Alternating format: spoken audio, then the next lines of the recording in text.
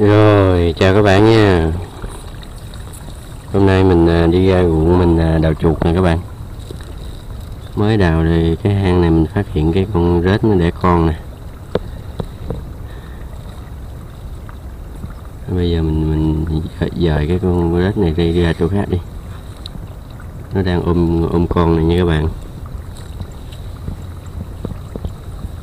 Ôm con nó rất là hung dữ luôn á.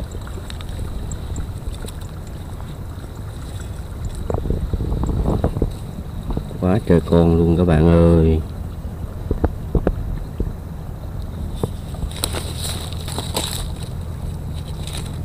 Mình có làm cỡ nào cỡ mình mà nó cũng không có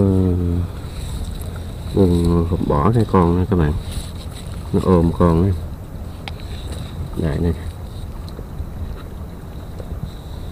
để mình à, xem cái hang chuột này đi